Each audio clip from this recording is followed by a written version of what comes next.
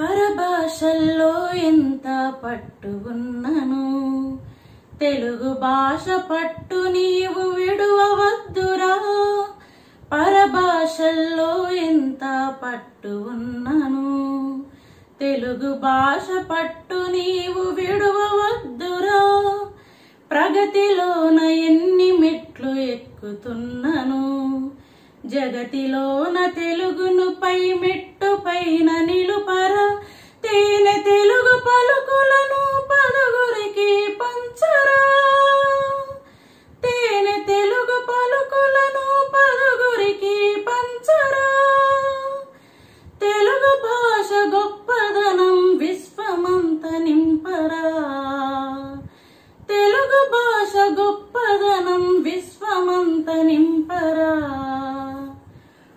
Morning children ఏమర్థమైంది ఈ- పాట ద్వారా మీకు?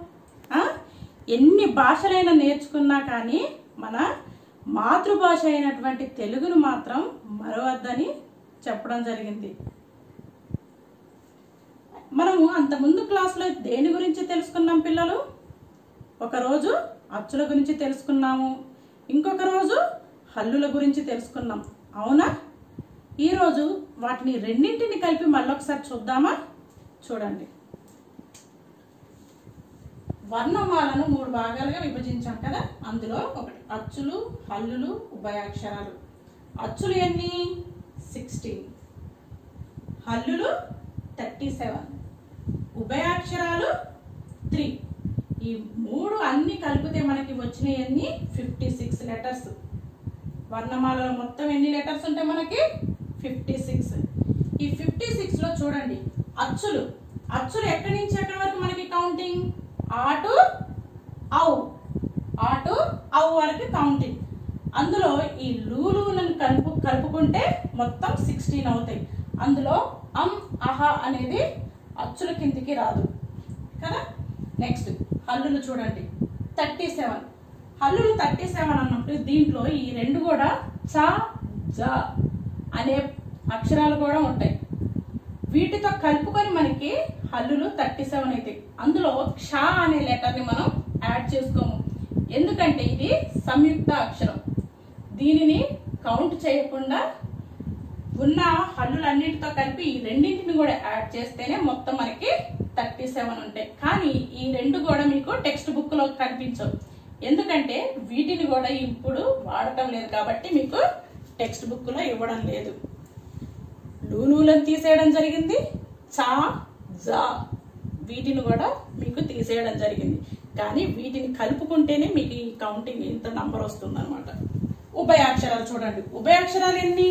త్రీ అవేంటి? సున్నా అరసున్నా విసర్గ. కానీ మనం ఈ సున్నాని మాత్రమే ఎక్కువగా వాడుతున్నాం. ఈ అరసున్నాని వాడట్లేదు ఈ విసర్గని వాడట్లేదు. ఈ రెండింటిని ఎక్కువగా వాడటం లేదు మనం. కానీ ఇది ఈ విసర్గం మాత్రం ఎక్కువగా మనకి సంస్కృత పదాలలో వస్తూ ఉంటాయి. వీటిని మళ్ళొకసారి చదివి చూద్దామా? అచ్చులు. ఆ ఆ ఈ ఈ ఉ ఊ రు రు ఏ ఏ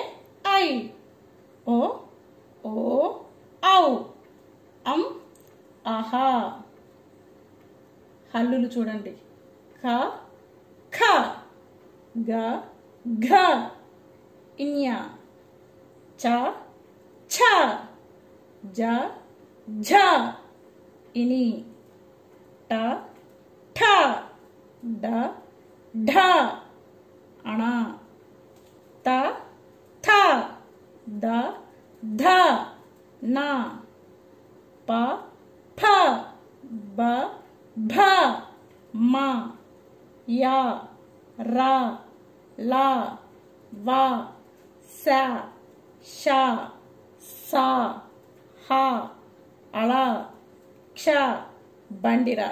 వీటిని ఏ విధంగా చదవాలి? చా జా. కానీ వీటిని మనం వాడటం లేదు కాబట్టి మీకు టెక్స్ట్ బుక్లో ఇవ్వడం లేదు.